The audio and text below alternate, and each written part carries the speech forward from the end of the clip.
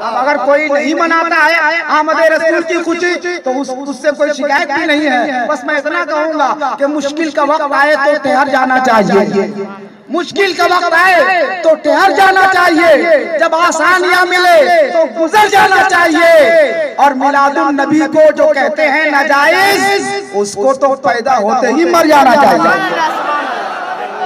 میلاد النبی کو جو کہتے ہیں ناجائز اس کو تو پیدا ہوتے ہی مر جانا چاہیے۔ حضرات وقت نہیں ہے اب آئیے۔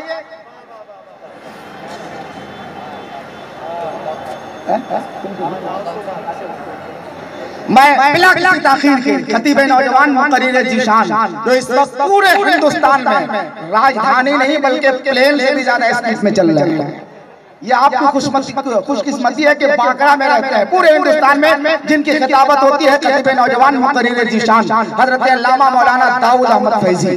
جن کا خطاب سنیے، اس کے بعد انشاءاللہ آپ چند اشار نات خانی شہباد اختر صاحب سے بھی سنیں گے۔ اور خطیب اہل سنت فاتح باقرہ سنیت کی جان، سنیت کی شان، سنیت کی آبرو۔ باقرہ کی سنیت کی آبرو کا نام حضرت علامہ مولانا افروز رضا خان۔ انشاءاللہ ان سے ان کا خطاب ہوگا۔ دھوم کا نعرہ لگائیے۔ نعرہ تکبیر۔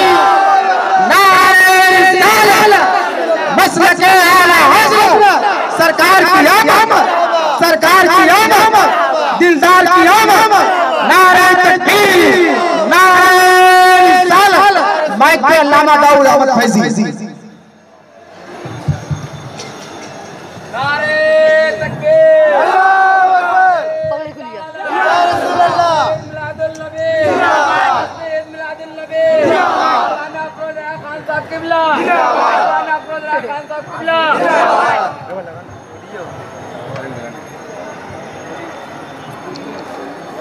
اسٹیج پہ بیٹھے باوقار علماء کرام سامعین عشق و وفا السلام علیکم ورحمۃ اللہ وبرکاتہ الحمدللہ. ہاں باندھ دیجیے الحمدللہ رب العالمین. والعاقبۃ للمتقین.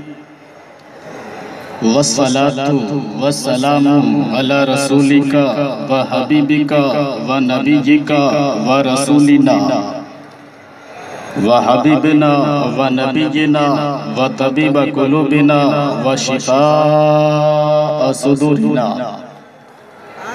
ومصطفانا ومرتدانا محمد صلی اللہ تعالی علیہ وسلم وعلى آله وأصحابه وأزواجه وأهل بيته وذرياته وشهداء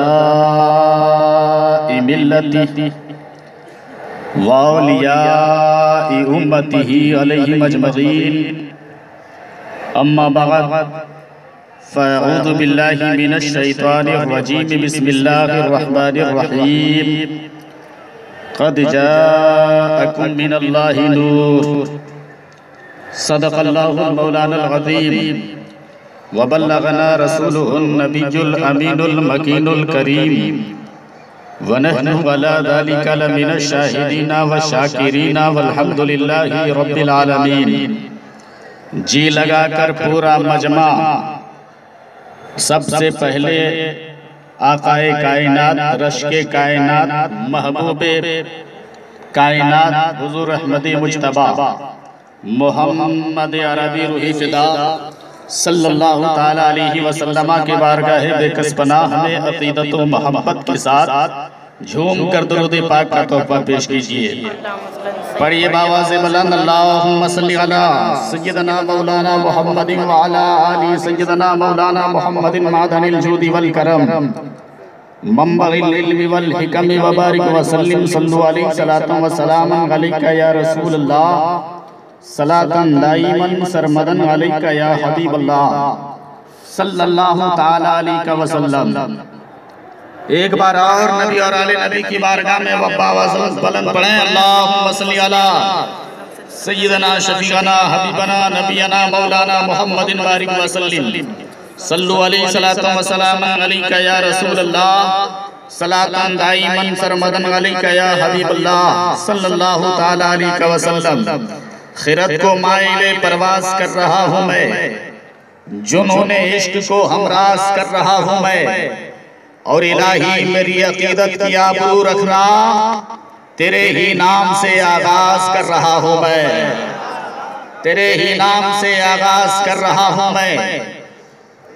اور اے شہنشاہ مدینہ الصلاة والسلام اے شہنشاہ مدینہ الصلاة والسلام زینت عرش معلہ الصلاة والسلام اور جب کبھی تشریف لاتے تھے حرم مصطفیٰ جھوم کر کہتا تھا کعبہ الصلاة والسلام جھوم کر کہتا تھا کعبہ الصلاة والسلام اور سر جھکا کر باہدب عشق رسول اللہ میں کہہ رہا ہے ہر ستارہ الصلاة والسلام اور میں وہ سنی ہوں جمیل قادری مرنے کے بعد۔ میرا لاشا بھی پڑھے گا الصلاة والسلام میں وہ سنی ہوں جمیل قادری مرنے کے بعد۔ میرا لاشا بھی پڑھے گا الصلاة والسلام حضرات، بڑی خوش نصیبی کی بات ہے کہ آج ہم جشن عید میلاد النبی منا رہے ہیں۔ مصطفیٰ کی ولادت کی خوشی منا رہے ہیں۔ بڑے مبارک بادی کے لائق ہیں آپ حضرات، کہ آپ کسی دنیا دار کے نہیں، بلکہ محبوب پروردگار کے ولادت کی خوشی منا رہے ہیں۔ اپنی اپنے قسمت پہ جتنا بھی ناز کیجیے، کم ہے۔ اس لیے کہ بارہ ربیع الاول ایک طرف تو بارہ دسمبر بھی ہے۔ مصطفیٰ پیر کے دن میں پیدا ہوئے تو آج پیر کا بھی دن ہے۔ یہ اپنی خوش قسمتی پہ ناز کرو کہ بارہ دسمبر بھی ہے، بارہ ربیع الاول بھی ہے۔ مصطفیٰ سموار کے دن تشریف لائے تو آج سموار بھی ہے۔ اور ہم اور آپ نبی کی میلاد منائے تو کیا کیا؟ ہمارا نبی کی میلاد تو قرآن آنا رہا ہے قرآن کے تمام پارے کو اٹھاؤ الحمدوں سے لے کر ونناس کی سین تک دیکھو۔ قرآن کا ہر پارا نبی کی میلاد مانا رہا ہے۔ اللہ تبارک و تعالیٰ نے نبی کی عظمت کو ایسا بلند ہی کیا ہے۔ لیکن ایک بات سب سے پہلے آپ سمجھنے کی کوشش کیجیے کہ میلاد کہتے کس کو ہے۔ میلاد کا مفہوم کیا ہے؟ میلاد کا مطلب کیا ہے؟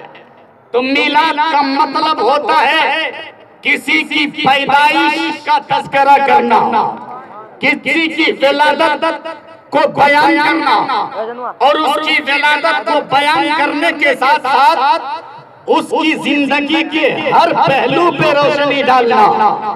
قرآن مجید میں اللہ تبارک و تعالیٰ نے اپنے پیارے محبوب صلی اللہ علیہ وسلم کے زندگی کو، پیدائش کو بیان کرنے کے ساتھ ساتھ، آپ کی اطلاع، آمد کی اطلاع دینے کے ساتھ ساتھ، آپ کی زندگی کے ہر پہلو پر روشنی ڈالی گئی ہے۔ اللہ تعالیٰ نے قرآن میں روشنی ڈالا ہے، شرح و بشت کے ساتھ ڈالا ہے۔ عزیزان ملت اسلامیہ، میلاد النبی میلاد النبی کا مطلب کیا نبی کی پیدائش کا تذکرہ کرنا، نبی کی ولادت کا تذکرہ کرنا، اور نبی کی ولادت کا تذکرہ کرنے کے ساتھ ساتھ آپ کی زندگی کے ہر پہلو